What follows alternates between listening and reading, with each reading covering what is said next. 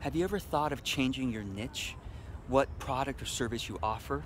But then you are afraid of being judged by your friends and colleagues as being flaky because, or, or maybe you're just thinking, well, they already know me as this, and now if I change to that, it's going to take a long time for people to catch on that now I'm doing something different. So I want to assuage your concern, hopefully a little bit in this video. First, I want to say that the nature of entrepreneurship is experimentation, learning from your experiments, and then changing as quickly as you can based on your um, experimentation. If you think that you can just choose one thing and have it be successful and it's always going to be the same offering for the rest of your life, uh, I've got news for you. That's not typically how a successful business works. A successful business frequently pivots as needed in terms of what they are, what product or service they're offering based on what they're observing in the market and also based on what they're observing their real strengths are. So don't be afraid to change your offerings. And I'll give you a um, sort of an easier path to change is to do it through your content.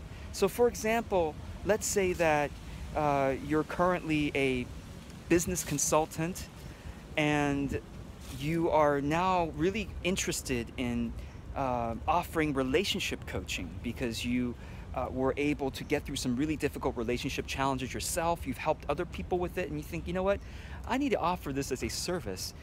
So, but then you're thinking, well, everyone knows me as a, as a business guy, so now I'm suddenly talking about relationships. Yes, you start through your content. You start by sharing articles or videos about the new topic you want to talk about, let's say relationships, and then you start getting some feedback from your audience on what they're loving about these ideas and these articles.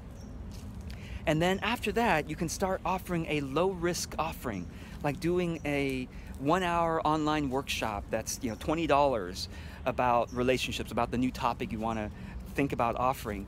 And maybe offer three different webinars on, on, the, on that overall topic, you know, maybe three different little specifics and see which one people most uh, want to take you up on and start having conversations with potential referral sources for this new um, field that you want to get into and seeing what you could what through that conversation what does their audience need that you could shape and create for an audience like theirs not that you're asking them please share me with your audience but you're just getting some information through these conversations and so that's how you gradually start to shift into a new niche.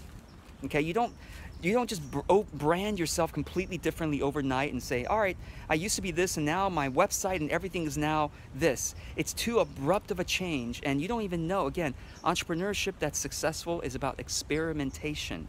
So you experiment more gradually rather than doing a wholesale change without having tested the market with these small experiments. I hope this is helpful and I'm always open to your comments and your questions.